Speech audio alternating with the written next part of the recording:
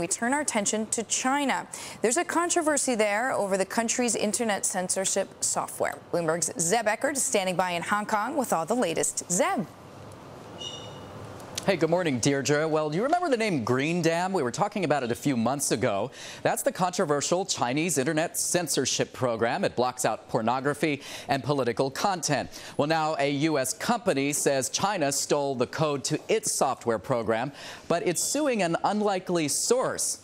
It's suing CBS Corporation's Interactive Unit. Now, let's break this down for you. California based Solid Oak Software suing CBS Interactive for its alleged role in distributing the Green Dam software via its Chinese web portal. Solid Oak claiming China's Green Dam program is pirated and based on code stolen from its own web filtering program. Now, Solid Oak demanding $1.2 million in damages. That's $39.95 for each copy of Green Dam downloaded from CBS's China web website.